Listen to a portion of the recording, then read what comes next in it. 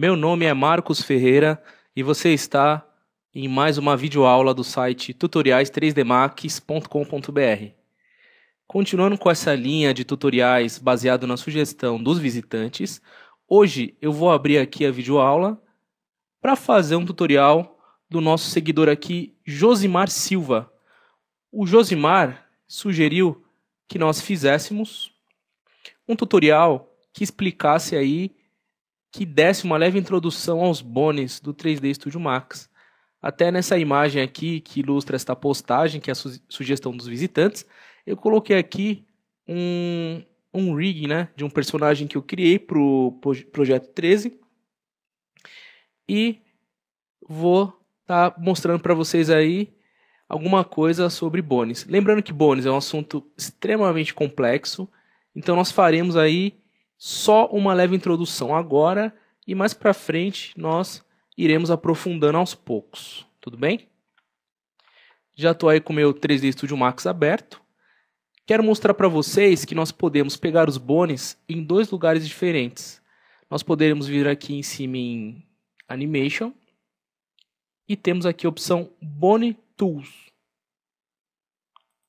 Ou podemos vir aqui em Systems e temos aqui a opção Bones.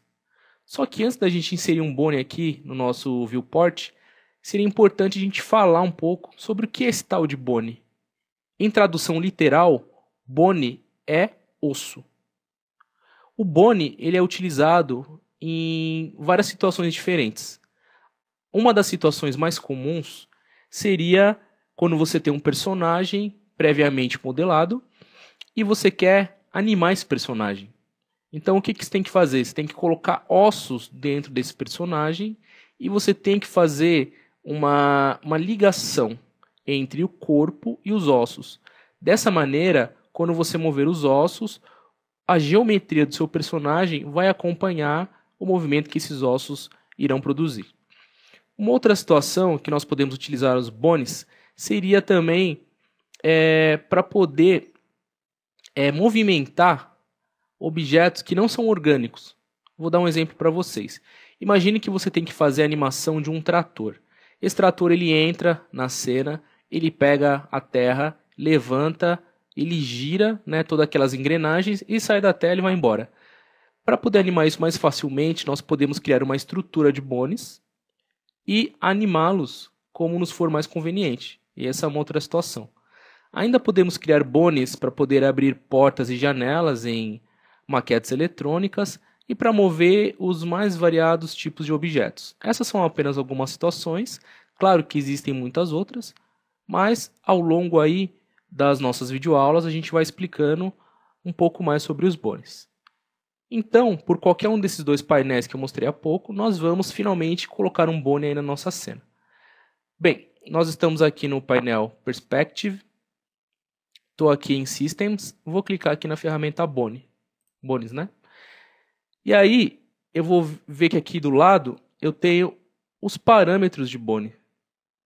Então, eu tenho parâmetros como largura, altura, um taper aqui que eu vou explicar na prática o que, que é, tem o bone fins, tem o front fin, back fin, entre outras coisas. Bem, vamos lá. Vamos criar um bone. Clicamos no botão, nós vamos aqui, bem nesse ponto central, clicar, segurar e ver que esse painel realmente não é o mais indicado para criar. Eu comi bola aqui. É, vem aqui no Cube e procura pelo painel Left. Ou vocês podem vir aqui também, como já expliquei em outras videoaulas, clicar aqui e pode escolher painel left também. Tem vários caminhos para se fazer isso. Em seguida, vamos criar o bone, agora sim. Então clica aqui no ponto central, né, que é a intersecção entre os dois eixos, o x e o y. Clica, segura e arrasta para cima. Em seguida, clica mais uma vez. Aí perceba que ele já vai querer dar uma continuidade aqui no que nós temos, correto? Aí vocês vêm aqui clicam fora com o botão direito e temos aí um bone criado. Agora, clica aqui na casinha que vai voltar no painel de perspectiva. Então perceba, temos um osso criado aí na cena.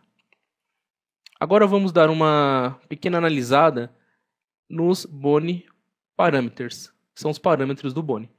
Sempre que eu crio um Bone, eu posso, assim como em outras, outras coisas, como criar uma esfera, é, criar um triângulo, eu posso vir depois e alterar as suas propriedades, né? alterar os seus parâmetros. Eu estou selecionando aqui esse bone de cima, eu não quero saber dele. Então vou vir aqui, clicar em Select and Move e clicar nesse bone maior. Vem aqui em Modify. Então perceba, nós temos aqui o It.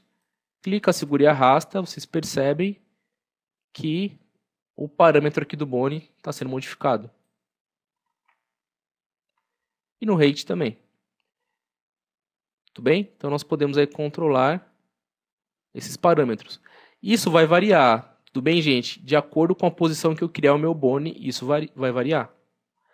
Só para mostrar isso na prática para vocês, eu vou criar um outro bone utilizando o painel front. Então temos aí o painel front, né? pode ser por aqui também. Vem aqui em Create, em seguida Systems e Bone. Clica, segura e arrasta para cima, não importa o tamanho dele, tudo bem? Clica novamente, mova para fora, clica com o botão direito. Clica aqui na casinha, voltaremos à perspectiva. Agora, clique em Select and Move, clica nesse bone aqui maior de baixo, venha em Modify e mude o It. Então perceba que o It desse é para frente e para trás, clica nesse outro aqui, o It dele é para um lado e para o outro, estão vendo? Nesse daqui, o rate dele tá na profundidade, né? Para frente e para trás. E nesse aqui já o rate tá para um lado e para o outro. Então esses parâmetros vão sempre variar de acordo com a posição que vocês criaram o bone. Se criou por cima, por baixo, de um lado, de outro, tudo bem? Mas isso não é tão relevante nesse primeiro momento. O importante é vocês saberem que dá para engrossar o bone alterando essas propriedades. O taper vai fazer isso aqui, ó, gente. Ele vai deixar essa parte de cima maior, né, dos nossos ossos, ou vai deixar menor. Vocês podem controlar aí. Nós ainda temos o Bone Fins. Selecione aqui Side Fins e perceba que dois sides aqui foram criados. Vocês podem aumentar ou diminuir. Isso aqui vai servir, pessoal, para poder preencher a geometria. Então suponhamos que você cria um personagem que tem uma perna bem bem gorda assim, né, bem larga. Daí você cria um bone dentro dele e o osso fica bem fininho. Aí você pode vir aqui nesse side fins e complementar aqui a geometria, né? complementar o preenchimento da geometria. Isso não é obrigatório de se utilizar, mas em muitos casos pode ajudar. Se você também não utilizar, você pode obter um resultado bom, sabendo alterar aí o it e o rate, tudo bem? Temos ainda aqui o front fin, tá vindo para frente aqui, lembrando que isso é relativo à posição que eu criei o bone. Se vocês tiverem alguma dúvida referente a isso ainda, podem deixar é, comentários aí no YouTube ou no nosso blog. Aí você pode mover também aqui, né? E fazer com que ele preencha melhor a geometria. E tem o back fin, que envolve tudo isso que eu falei. Bem, agora vamos testar como que o Boni é, se adequa à geometria, como eu falei há pouco. Eu vou fazer uma seleção aqui, deletar tudo. Vou clicar aqui na casa. Ah, não. Clicar, clicar no front, né? Senão vocês viram que não é o mais adequado, senão não dá certo.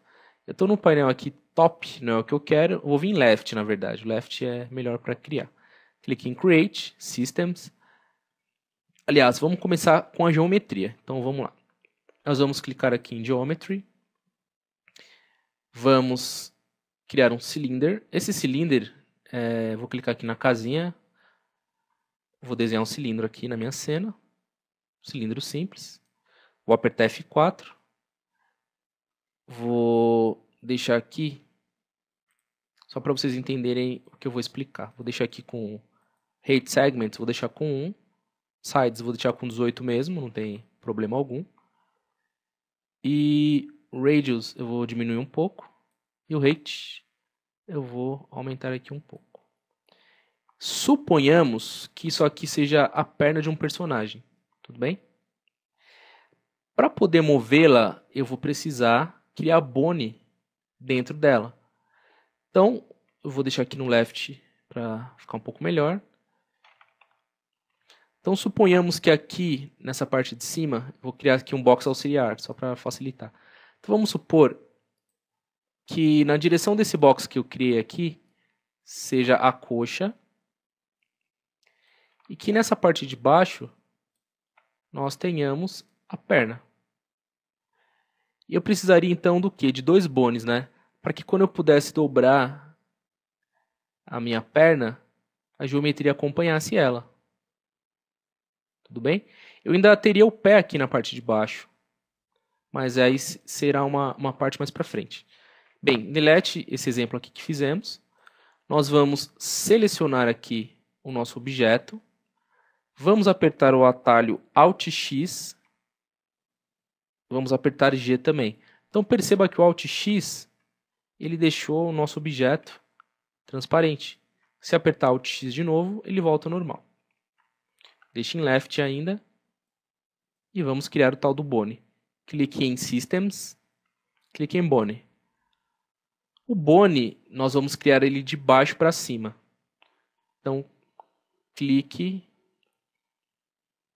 Ou melhor, vamos criar de cima para baixo. Então, clique nessa direção aqui. Arraste para baixo. Até aqui assim, acho que está bom. Então, clicou. Clica de novo. Aí, aquilo que eu falei, ó, vocês movem para fora, para qualquer lugar, e clica com o botão direito. Agora, vamos deixar no front. Já está no front. Perceba que está bem ajustado. Mas se não tivesse bem ajustado, nós clicaremos aqui na ferramenta Select and Move. Ao tentar selecionar o bone, perceba que ele está selecionando o cilindro. Uma solução para isso seria vir aqui onde está escrito All, que é o Selection Filter. E aí nós podemos escolher só aquilo que queremos selecionar. Nós temos geometria, shape, luzes, câmeras, helpers, warps, combos e inclusive bone.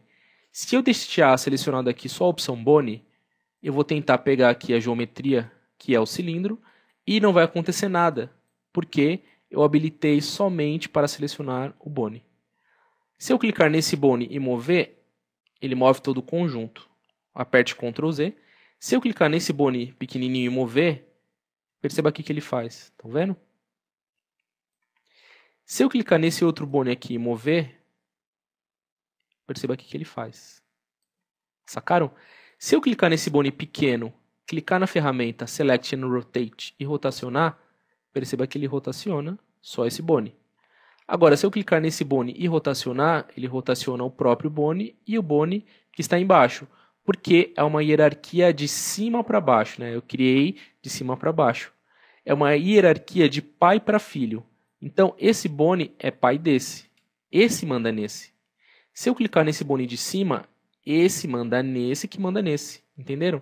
E aí, se eu rotacionar, tudo será rotacionado também. Bem, selecionamos o Bone. É, vamos configurar aqueles parâmetros que, que estudamos há pouco, para vocês entenderem melhor. Clique aqui na casinha. Pronto. Nesse Bone primeiro, clique com a ferramenta Select and Move, venha em Modify. Nós podemos aumentar o Width, podemos aumentar o Height, podemos habilitar Side Fins, Front Fin e Back Fin. Então perceba, aproximando o zoom, que o seu bone está diferente agora. Nós podemos aumentar mais, podemos aumentar os, sides dele, né? De acordo com aquilo que eu falei. O importante é que ele se aproxime, ele pode até sair da geometria, tá? Ele pode passar, isso não tem problema algum. Só não pode passar muito. Mas se passar um pouquinho, você não vai estragar o seu trabalho. Vocês podem mexer no end também, ó, perceba aqui que faz o end, ó, mais para baixo, mais para cima. É, aumenta aqui, né? Um pouquinho mais também. Sempre no size aqui. E atrás também. Mas, infelizmente, vocês podem perceber que ele só mudou o bone que está na parte de cima. E se eu quiser mudar dois bones de uma vez, o que, que eu posso fazer? Eu vou apertar Ctrl Z aqui só para vocês perceberem. Eu posso clicar, segurar e arrastar, e eu selecionei os dois bones. Só que nesse caso, vocês estão vendo que o Modify sumiu, não está mais aqui. Eu posso ainda clicar duas vezes nesse bone, ele vai selecionar todo o conjunto, vocês podem ver, só que aqui tudo sumiu. E agora, como é que eu faço para configurar vários bones de uma vez? Simples, eu quero mexer com esses dois, seleciono os dois, venho aqui em cima em Animation e procuro pela opção Bone Tools. E a caixa de ferramenta Bone vai aparecer para mim.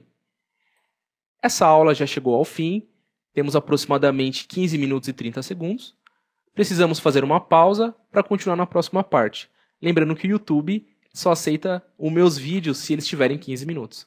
Então faremos um pequeno break e voltaremos daqui alguns dias, ou talvez até um dia. Não percam a próxima videoaula. Até lá!